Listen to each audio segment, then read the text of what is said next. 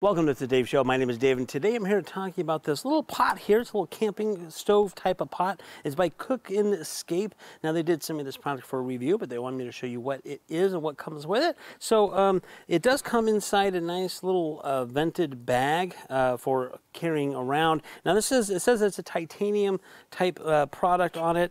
It has a lid. Now, this there's actually does a lot of things. So, you've got this nice pot, and you have this lid. Now, the lid is more than a lid because all you have to do is to um, push these little arms in and snap it out and now you have like a little mini frying pan. So this would be good for you know a couple of eggs or some sausage or whatever. It's not it's not super huge so it's not you're not going to use this for like a huge family. But if you're out camping if you're hiking if you're in the wilderness if you're doing whatever kind of stuff like that it might make something uh, you know to cook a few little things in here very nice. And then of course you have your pot. It has a couple little handles that fold in to it like this so you can actually carry it around. You can use this as a ginormous coffee mug.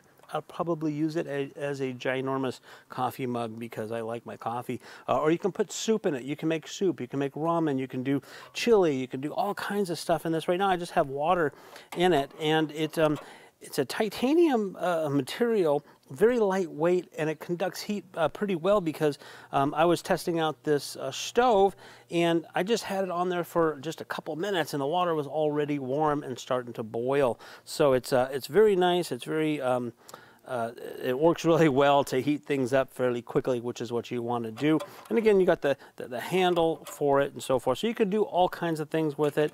Again, this is either a lid or a pan depending on how you want to use it. You kind of get a two for one. And again, it comes in a nice little bag. So very nice if you were looking for a little camp pot stove type of thing uh, that's small and lightweight. This one may be the right one for you.